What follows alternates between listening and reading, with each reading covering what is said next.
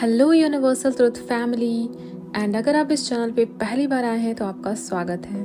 इस चैनल पर हम बात करते हैं law of attraction self love success stories mantras meditations affirmations and आपको आपकी लाइफ में जो भी चाहिए, उसे कैसे हासिल करना है, उसके लिए यहाँ पे गाइड किया जाता है। तो अगर आप इन चीज़ों में इंटरेस्टेड हैं तो प्लीज़ इस चैनल को सब्सक्राइब कर लीजिए। थैंक यू सो मच तो आज की वीडियो में हम बात करने वाले हैं कि अगर आप भी अपने स्पेसिफिक पर्सन को हमेशा याद करते रहते हैं, या फिर अगर आप किसी को भी हमेशा याद करते रहते हैं, किसी के बारे में सोचते रहते हैं, वो आपके ख्यालों में रहते हैं तो आपके साथ और उस पर्सन के साथ में क्या होता है?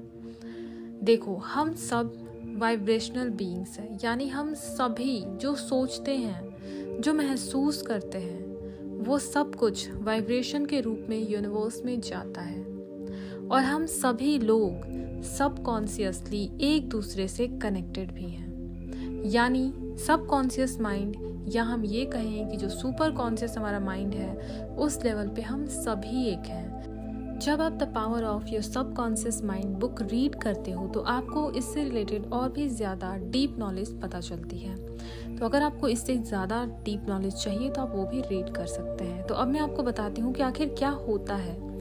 देखो, जब भी आप किसी के भी बारे में सोचते हो, जैसे आपने अपने स्पेसिफिक पर्सन के बारे में सोचा तो वो थॉट आपके ब्रेन से निकलता है, आपके माइंड से निकलता है और मतलब एक तरीके से ट्रैवल करता है यूनिवर्स में। और जिसके बारे में भी आप सोच रहे हो, उस तक भी ये पहुँच ही जाता है। तो इसका मतलब क्या है? इसका मतलब ये है कि अगर आप किसी को याद करते हो, करते ही रहते हो तो बस वो पर्सन भी आपके बारे में सोचना स्टार्ट कर देता है। कहीं ना कहीं से उन तक आपकी बातें पहुँच ही जाती हैं। वो भी आपके बारे में सोचना स्टार्ट कर देते हैं। भले ही वो आपसे कांटेक्ट करे या ना करे, मान लो आपके बीच में रिलेशनशिप में कुछ गड़बड़ियाँ चल रही हैं, हो सकता है वो आपको कांटेक्ट ना करे। जब गड़बड़ी बड़े लेवल पे होती है। हालाँकि उनके माइंड में आप चल रहे होते हैं, वो आपको याद कर रहे होते हैं कई बार ऐसा आप नोटिस करो कि अगर आप किसी के बारे में बहुत ही ज़्यादा सोच रहे हो और माइंड में थोड़ी पॉजिटिविटी के साथ सोच रहे हो, अच्छी यादें आप सोच रहे हो तो होता क्या है कि वो पर्सन आपको कहीं ना कहीं से कांटेक्ट कर लेता है। यानी आपके स्पेसिफिक पर्सन हो या फिर अगर आप किसी और के भी बारे में सोच रहे हो, लेकिन होता ये है कि जब हम अपने स्पेसिफिक पर्सन के बारे में सोचते हैं तो हमारी भावनाएँ थोड़ी ज़्यादा हायर लेवल पर होती हैं, यानी कि बहुत ज़्यादा इंटेंस फीलिंग होती है।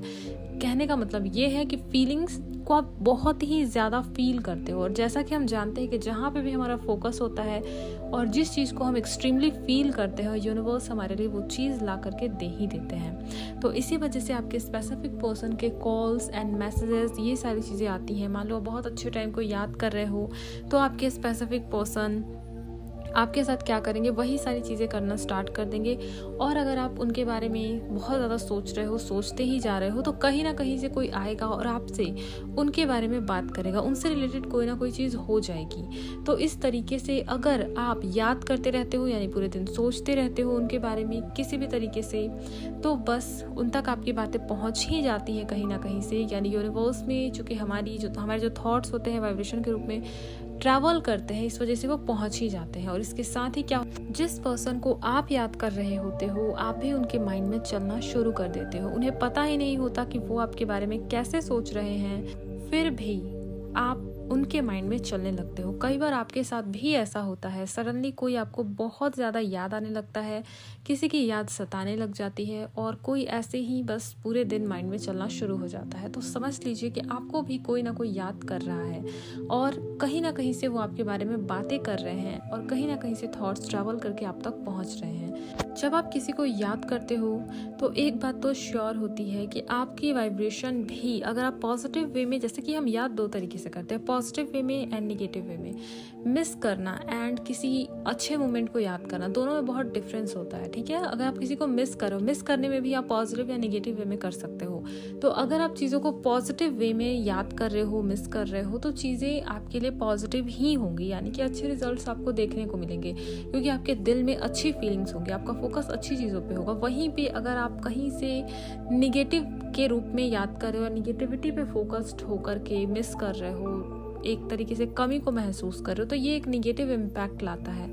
सामने वाले पर्सन के अंदर भी, वो भी आपके लिए निगेटिव फीलिंग को फील करना स्टार्ट कर देता है। तो इस चीज़ को आपको अवॉइड करना चाहिए एंड हो सके तो जो अच्छे मोमेंट्स आपने स्पेंड किए हैं, उन मोमेंट्स को आप याद कीजिए, उन मोमेंट्स को फिर से आप अपने माइंड में रिवाइंड कीजिए। कोई प्रॉब्लम नहीं होगी, उससे आपकी लाइफ में बहुत अच्छी चीज़ें ही होंगी। हालाँकि अगर आप किसी ऐसे मोमेंट को याद करके मतलब याद कर रहे हो, जो कि उतना अच्छा नहीं था, आपकी वाइब्रेशन लो हो रही है तो ऐसे मोमेंट्स को आप याद करने से बचिए, ठीक है? तो ये थी आज की वीडियो में पूरी इन्फॉर्मेशन कि। जब आप किसी को याद करते हो या अपने स्पेसिफिक पर्सन को याद करते हो तो उनके साथ क्या होता है, आपके साथ क्या होता है, सारी चीज़ों की जानकारी मैंने दे दी। और इसके साथ ही जो लोग मुझसे पूछते हैं कि कोर्स रूटीन या अदर चीज़ें कैसे करनी है, कैसे लेनी है तो मैं आपको बता दूँ, आप मुझे इंस्टाग्राम या जी के थ्रू कॉन्टैक्ट कर सकते हो, जिसकी लिंक आपको हमेशा ही डिस्क्रिप्शन बॉक्स या फिर वीडियो के स्क्रीन पर मिलती है। तो मिलते हैं नेक्स्ट वीडियो में। तब तक अपना ख्याल रखिए, खुश रहिए। Thank you so much watching this video and thank you so much I love you